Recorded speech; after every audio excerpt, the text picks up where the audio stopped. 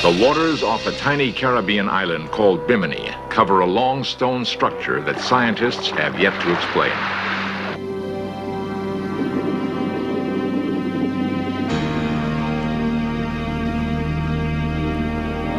The stones appear to be so carefully placed, some people have concluded they are either a road or a wall, perhaps even a remnant of Atlantis. A nearby healing well is supposedly linked to the mystical springs of that lost civilization. While diving near Bimini, a San Diego physician claims discovery of a submerged pyramid inside which he found a crystal ball. He says this crystal emits a power capable of repelling metal.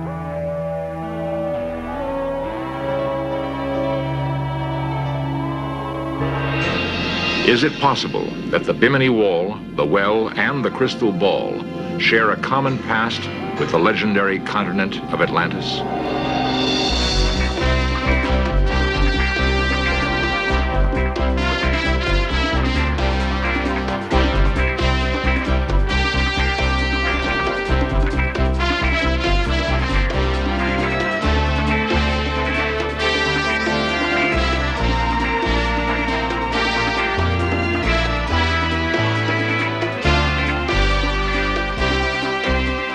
Series presents information based in part on theory and conjecture. The producer's purpose is to suggest some possible explanations, but not necessarily the only ones, to the mysteries we will examine.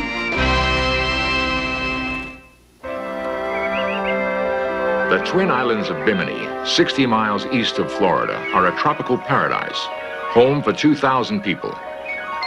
The atmosphere is relaxed and happy.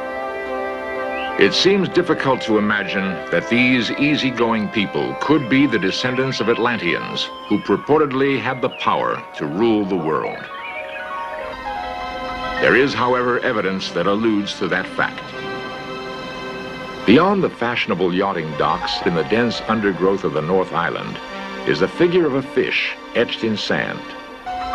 Native lore gives no clue to what it represents but it does lie close to a mysterious series of huge square rocks submerged in 15 feet of water off the coast.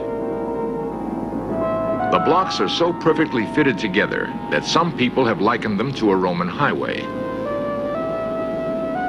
No clues exist to the origin of the blocks. There are claims that they are ordinary beach rock, which broke off from the Bimini coastline thousands of years ago. Such formations are common in tropical waters throughout the world. One of those who believes the wall is beach rock is Eugene Shinn, a U.S. Geological Survey team member who conducted an analysis of the Bimini Wall. We did uh, two types of things. First, we cored the blocks, and we determined that they were beach rock. And every geologist, and that's dozens of geologists, have looked at those rocks, and everyone has come to the conclusion it's beach rock because it's so easy to recognize. The uh, question is, are those slabs of beach rock in place? Shinn and a three-man diving team used hydraulic drills to bore through the rocks. 18 cores were taken. The goal was to determine if the stones had once been part of the coastline. If so, had they fallen into the sea or been carefully placed in position? After drilling down half a foot, the geologists removed the cores and examined them closely. The pattern of the grain indicated that the stones had formed naturally and then at some later date became submerged. This finding led to Shinn's own conclusions about the origin of the wall. Well, I think that it's an entirely uh, natural phenomenon, uh, composed of beach rock, as I pointed out earlier and a combination of a little rise in sea level and the scouring out of the sand underneath has caused the blocks to uh, settle to the bottom. And all of the various shapes can easily be explained by well-known natural phenomenon familiar to, to all geologists. Shinn points to a similar phenomenon occurring at the Dry Tortugas National Park south of Key West, Florida. Could the constant attack of the surf have created the lines in the Bimini Wall, just as it has created these individual blocks in the Tortugas? Other questions remain unanswered. How could the Bimini Wall have dropped 15 feet when the natural erosion rates indicate that it should be no deeper than 3 feet below the surface? More importantly, how could part of the wall run perpendicular to Bimini's coastline? We are left to ponder the possibility that the Bimini stones were so carefully cut and aligned, they are in harmony with existing natural beach rock. This painstaking placement would require sophisticated mechanical tools. Such tools could only be designed and handled by people of superior intelligence. In the 1930s, psychic Edgar Cayce predicted that part of Atlantis would surface in the late 1960s. In 1968, the Bimini Wall was discovered. Was it possible that the strange stone structure could be part of Atlantis or one of its outposts? Plato was the first to mention Atlantis. While chronicling aspects of the Atlantean people, he claimed that they controlled energy-charged crystals as well as healing wells possessing great curative powers.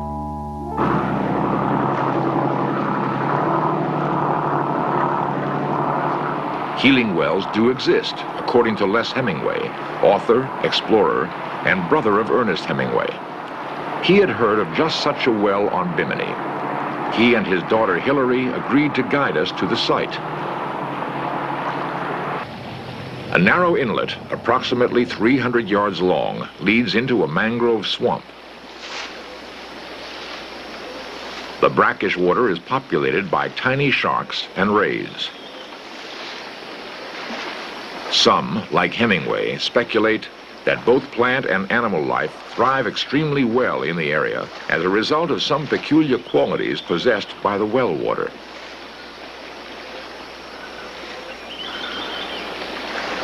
Admittedly, Hemingway is not an expert on the well's special properties as a result of direct personal experience. However, he has concluded that the well itself apparently possesses the power to heal. Here is where the actual fountain of youth is. The flow is thousands of gallons per day, and it's absolutely cold, pure, fresh water coming right up in a saltwater pool. The water apparently has definite curative powers because various people who have both major and minor ailments have soaked in it and have experienced an amazing amount of ease from their problems. People who have gout, for instance, have found that the gout disappears in two or three soakings. Other people with small skin cancers and people who have skin inflammations have found that the inflammations and the small growths on their skins have literally disappeared as a result of poultices and soaking with water from this fountain. Surprisingly, Hemingway's claims have received some scientific support. Miami psychologist Adolfo Villasuso tested the well waters and found an unusual amount of a certain element. There were two water samples that I had analyzed in two local laboratories. Uh, one of them I took myself because I was kind of surprised at the uh, high amount of lithium that was found in the well. It was a substantial amount. Laboratory analyses repeatedly revealed that the well water did have an extremely high content of lithium. Researchers within the last 10 years have found that lithium has been particularly useful in producing soothing reactions in both normal and disturbed people. Originally, before it was known that lithium exerted a calming, a therapeutic effect in people with manic depressive illnesses, there are stories in Roman times, in the Middle Ages, that uh, people with this illness were sent to wells which were high in lithium, and lo and behold, they were cured. Did an ancient race know of Bimini's lithium well? If so, perhaps Plato's assertion that Atlantis possessed magical waters was correct. The way this well has been cut down through solid rock and the way this well seems to be so well hidden are two very different things. The hiding part, I think, may have developed in the last few hundred years and is a result of just local growth. But the cutting down through solid rock is something that had to be done by intelligent beings who had access to great use of tools and most unusual tools. We don't know whether Atlanteans did this or not. I, of course, would like to think that they did, and it's very possible that they did. It's just that none of us were, have been able to trace back prehistory to Atlantean days in this particular spot. From the air, another peculiar fact about Bimini becomes apparent. Perfectly straight lines carved in the sand slice across the island. Most point directly to the well. Perhaps the lines, the Bimini Wall, and the well are linked by common ties to the people of Atlantis. Is it possible that further exploration around Bimini might reveal hard evidence of the brilliant but lost Atlantean civilization?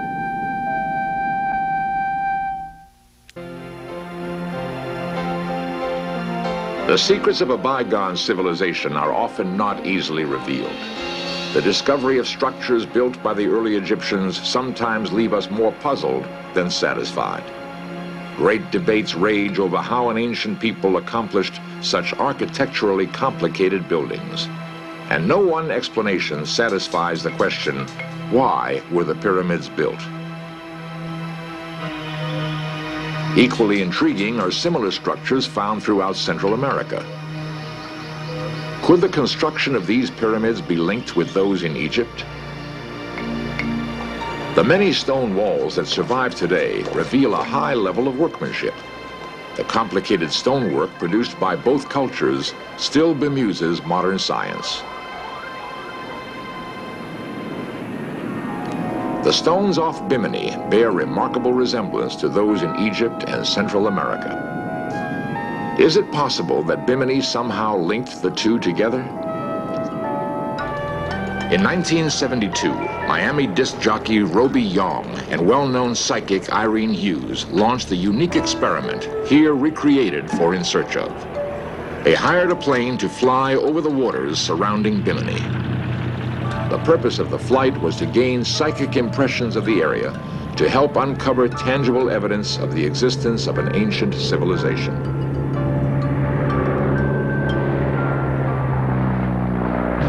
Now, we're not going to tell you where we're going at all. We'll just sort of fly around, and if you get a feeling, it'll confirm. Now, below us, you can see is just crystal clear water the drop off of the Gulf Stream, 3,000 feet down. From then on east, what do you think? Well, I feel that it is all the way along, like a tunnel, you know, but I feel that we have to make this turn. And as we turn, we're going to see, on the right-hand side, we're going to see some blocks.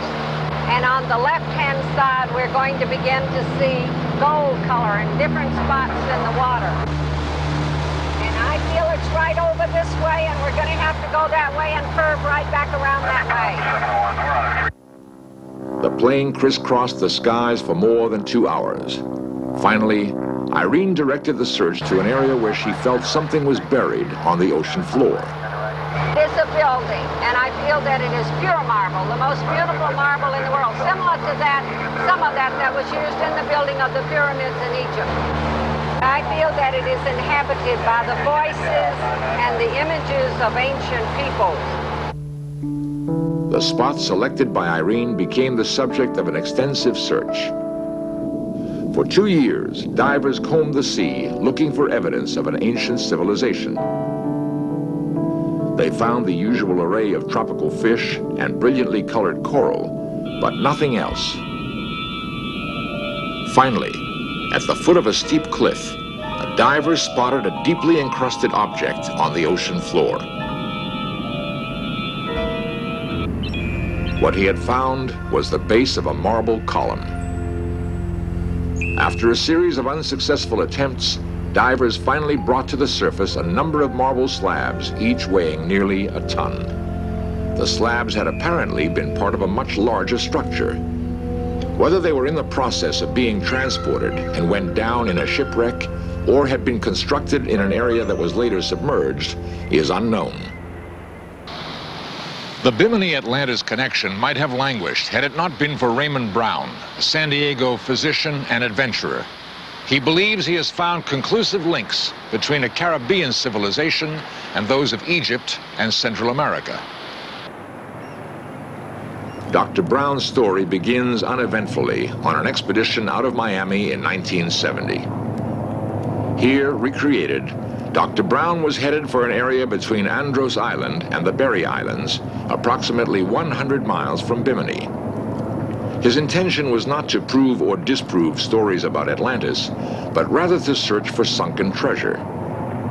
We'd been searching the area for a number of years for Spanish galleons and had found several and taken some of the uh, treasure and we were very excited when we found this area. They traveled to a spot near the tongue of the ocean. There, the bottom drops to 14,000 feet. Dr. Brown hoped that a recent storm might have shifted bottom sand in order to reveal the galleons.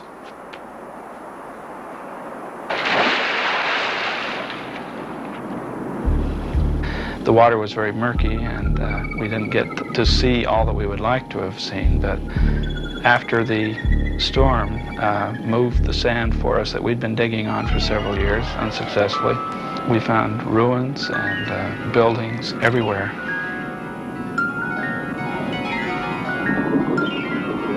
Much of Dr. Brown's photographic equipment was destroyed in the storm, thus making it impossible for a detailed record of the find. We really had no choice because if we had gone back for uh, new equipment that we lost during the storm, if we hadn't got in the water even as murky as it was, we, the sand would have covered the buildings up and we would have lost the view. The ruins of the city Dr. Brown claims he found reflected a sophisticated level of architectural design. The buildings had somewhat of an Egyptian or classic look to them. Uh, the ground mass was rippled as though the area had been dropped into the ocean by some sort of cataclysmic action. Then Dr. Brown reported that he came across the most magnificent find of all. In the murkiness, he spotted the tip of a submerged pyramid, barely visible above the ocean floor. Looking at the structure, shape, and the size, it would be approximately 400 feet tall. Uh, I went in an opening, and in this opening, in the center of the room, there was a pedestal. And on the pedestal were two human hands made of brass or bronze. And in the center of the hands was the crystal. My first uh, impression in the, in the room was the uh, shaft that was metallic hanging straight down from the ceiling, pointing at the crystal and it was gold color. I swam, because it was still, the room was full of water, I swam up to the ceiling and tried to pry the uh, rod loose. It wouldn't budge, so I settled back down to the floor. And I reached my hand in between the fingers of the uh, metal hands, and I found the crystal was loose. And it was the only thing in the room that I could take home. Crystal ball seems to possess powers that can repel a coiled stainless steel rod. We found a meter with a one and a half ounce weight, and it becomes sensitive to emanations, uh, particularly magnetic emanations around people or things if they are charged. we find that if we can hold it straight without uh, allowing it to flip from side to side, some strong influences will actually raise the weight in the air. Now, as we bring something into the field of the crystal, the ions tend to repel. If I can keep it balanced and bring it directly into the field and not let it tip from side to side, the weight will then not go to the side if I can keep it centered, and it will, as I come higher, it will raise it and make it weightless and actually float in the air. Some historians say that crystals were the source of Atlantean power. Dr. Brown believes his crystal is evidence that such a culture existed and possessed powers unknown to modern man. Maybe the ancients knew more than we did about uh, life forms and life forces, and we might discover their secret. In the last decade of exploration in the waters off Bimini, new finds cause us to question old theories.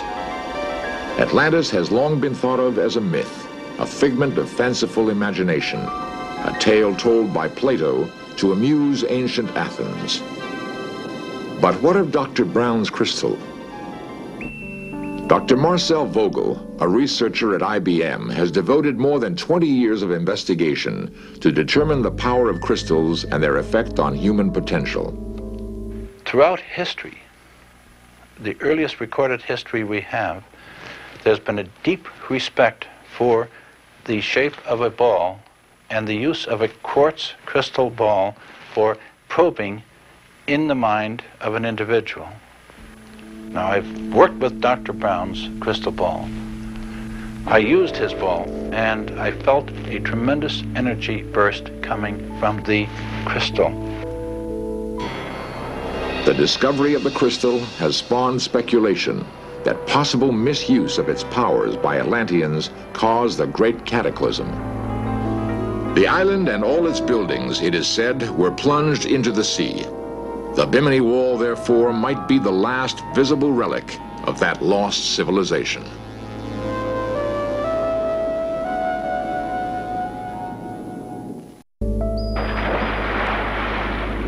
Divers have always searched for hidden treasures of the sea.